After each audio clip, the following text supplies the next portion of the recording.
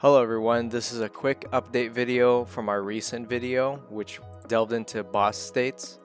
And I've noticed a lot of the comments were asking how you could add more states instead of just one, which I did not uh, mention inside of the first video, so I'll do this in the second video right now. So I'm going to begin by adding a new function, which will be above our special timer. And we're going to be using the RNG system inside of Godot. I changed it up a little bit because I realized there's a small error. Anyways, this will select a random attack if the player is in proximity and it will select from attack 1, attack 2, or attack 3, which can be different functions that lead to different travel states.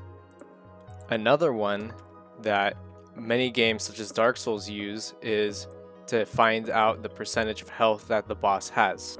Now here I'm going to mention that you want to make sure that it is a float because if you do not have these functions setting it to be a float, it will give you a 1 or a 0. This is because Godot automatically rounds any number that is less than 1 to 0. And so here you could also set it to do uh, a function as well. And otherwise you can just have it automatically go into attack 1 every time the player is in proximity. And so whichever function that you select, be sure to change it down here so I will do select random attack and that will be the function that I use. So I'll briefly explain how you could implement another attack. All you have to do is just, if you've already watched the previous tutorial videos, you already know you can add a state and you can change the travel state to it.